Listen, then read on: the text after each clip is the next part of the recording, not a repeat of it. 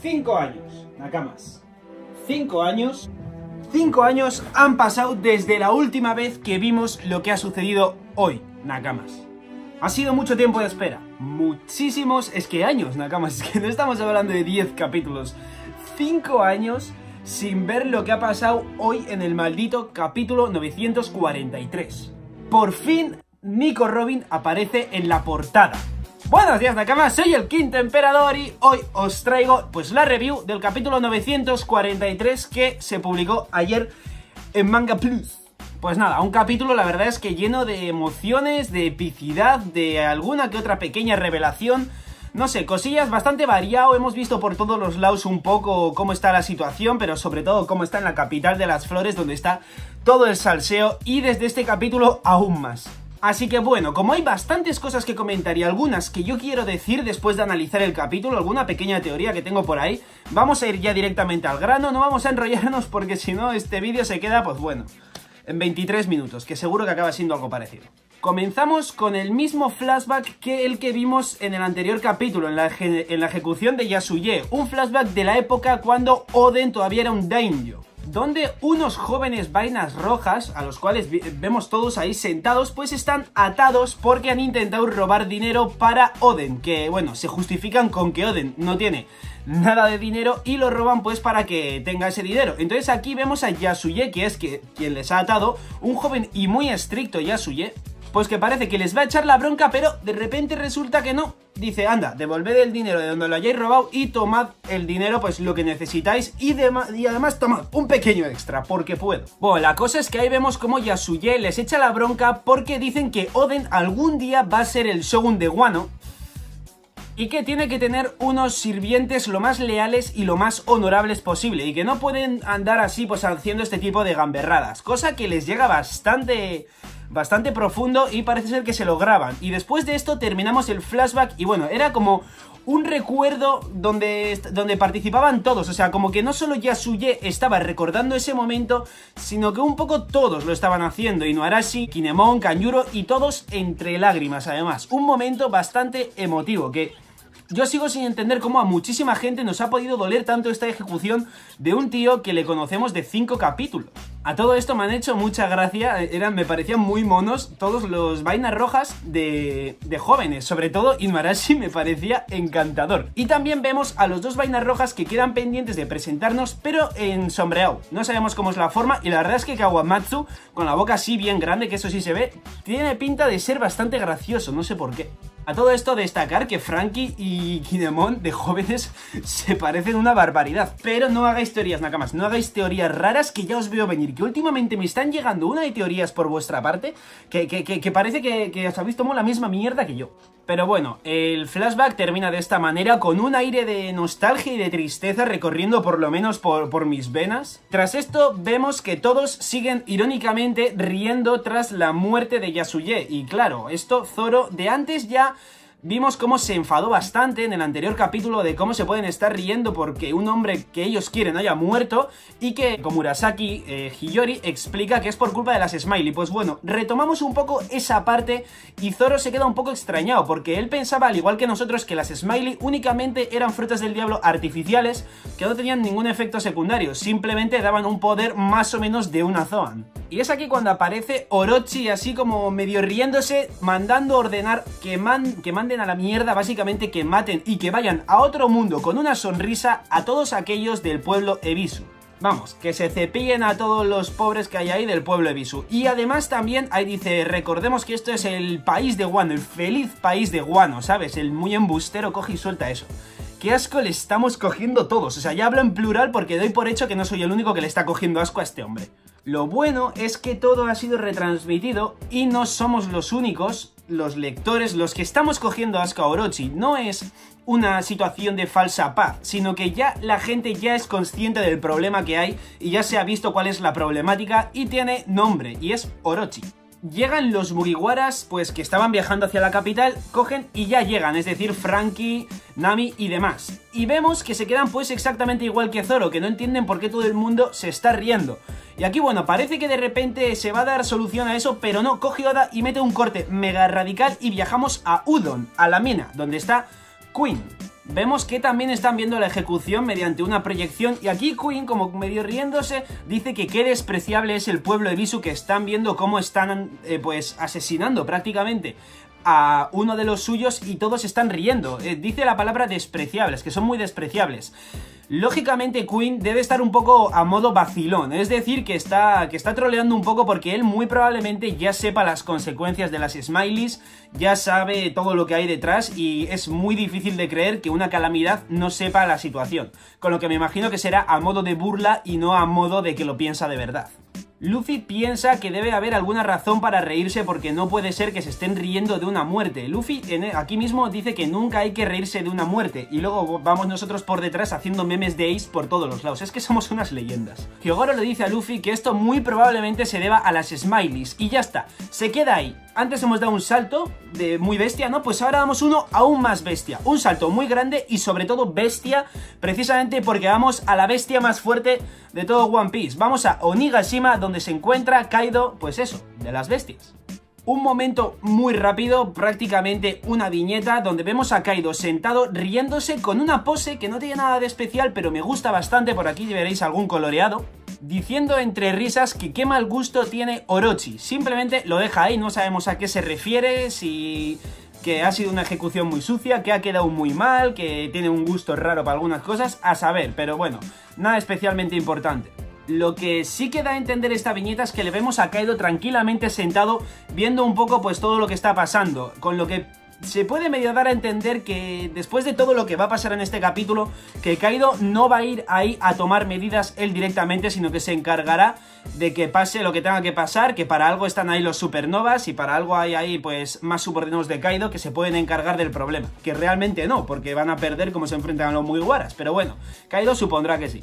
Otro pequeño salto rápido también a Kuri, donde vemos a Asura Doji preguntándole a Kinemon y a Inuarashi a ver si conocen sobre las Smileys, y simplemente se queda ahí y volvemos a la capital, donde aparentemente ahora, después de tanta introducción, sí que nos van a dar introducción a la explicación que tanto tiempo llevamos esperando de las Smileys, que por lo visto tienen más de un secreto que a pesar de llevar 300 capítulos con ellas, desconocíamos. Y todo nos lo explica Shinobu, dando introducción al tema diciendo que a cambio de un arma que se creó en Guano, pues se empezaron a intercambiar, digamos, las Smiley. O sea, desde que alguien, no sabemos quién, es posible que Flamingo o alguien del gobierno mundial se llevase un arma creado en Guano, a cambio de eso se empezaron a importar las Smileys, es decir, a traer al país de Guano. Este tema del arma no lo, voy a tocar mucho en la review porque quiero centrarme en otras cosas, pero me deja con mucha intriga. Puede ser algo que tenga que ver con Kairoseki, porque sabemos que el Kairoseki es endémico de Guano, es decir, que está creado en el país de Guano. Puede ser algo que tenga que ver también con los Road Poneglyph o con los Poneglyph a secas, no lo sabemos, pero algo más allá hay de eso del arma, que repito, no le voy a dar mucha importancia, por lo menos de momento, igual en vídeos más adelante sí, pero no dejemos pasar ese detallito del arma. Nos explican que al comerlo pierdes la capacidad de nadar. Esto es algo que podíamos medio suponer, pero no teníamos al 100% confirmado, no sabíamos si realmente se perdía la capacidad de nadar o no. Pues bueno, con esto ya se nos confirma totalmente. Y de las smileys, de las cuales todavía Shinobu nos sigue explicando cosillas, quiero hablar al final. Después de comentar todo el capítulo, tengo ahí un poco una teoría en mente respecto a las smileys que os la quiero comentar cuando primero termine de analizar el capítulo. Y también nos mencionan que simplemente los smileys que sean usuarios se pueden convertir en smileys Zoan. Es decir, no vemos ningún tipo de smiley paramecia ni ninguno logia. Simplemente se convierten en animales. Y creo que esto también tiene una explicación que está muy... que tiene mucho sentido con lo que yo quiero comentar más adelante. Pero bueno, ¿qué nos sigue contando nuestra querida Shinobu? nos revela que Kaido quería empezar a usar en prácticamente toda la tripulación las Smileys para hacer pues una tripulación mucho más fuerte, concretamente la tripulación más poderosa, más fuerte y literalmente más bestia de todo el mundo, cosa que parecía que iba cogiendo el rumbo hasta que se descubrió un gran fallo en las Smileys y es que solo un 10% de los usuarios de Smiley, es decir, uno de cada 10, consiguen el poder de manera perfecta del Smiley. ¿Y qué pasa con los otros 9? pues esos 9 simplemente no obtienen el poder o no lo obtienen de manera completa y además pierden todas las capacidades, todas las expresiones, menos la de la risa, es decir, lo que le pasa al pueblo de Visu. Tras esto nos explican que en la tripulación de Kaido se pueden ver tres ramas diferentes, todas relacionadas con los usuarios de Smiley. Primero están los waiters, o bueno, traducción al español sería como los que esperan, ¿no? Los pacientes, digamos que son los que todavía no han ingerido un poder de la Smiley y están pues precisamente como su nombre indica a la espera de tomarlo. Luego están los gifters que son esos uno de cada 10 que sí que les ha hecho efecto. Los gift, gift por lo menos en inglés es premio, con lo que supongo que gifters será como los premiados porque han tenido la suerte de ser uno de, uno de cada 10. Y luego por último tendríamos a los pleasures, que bueno, que esos son los otros, los pringadillos, los 9 de cada 10 que no obtienen el poder y simplemente pues pierden todas las capacidades menos la de reírse. Que podemos ver que con el pueblo Ebisu pues pasa un poco eso. De hecho, también nos dicen que el nombre Smiley viene, su origen lo tiene simplemente en algo bastante macabro y es a modo de burla para la gente, que para el 90% de los usuarios que no han conseguido el poder y solo pueden reírse, pues que en honor a esos han puesto este nombre de Smiley, o sea que no tiene otro secreto. Bastante macabro y cabrón por parte de Kaido, Caesar y Doflamingo, pero bueno, ya, ahí está. Y tras esto nos explican el origen de por qué el pueblo de Bisu está afectado con los smileys, porque claro, al pensar esto pensamos, entonces intentaron usar a los del pueblo de Bisu para hacerlos del ejército de Kaido con smileys y salieron mal, pues no, es algo más cabrón por parte de Orochi.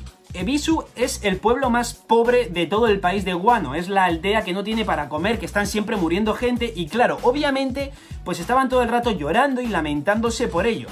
¿Y qué pasa? Pues que Orochi, pues que quiere, quería montar esa falsa paz sobre el país de Guano, haciendo creer a todos que está todo bien y que son felices, y entonces vio un, resto de, de smileys ya usadas, mordidas, pero que todavía mantienen el efecto secundario, el de la risa.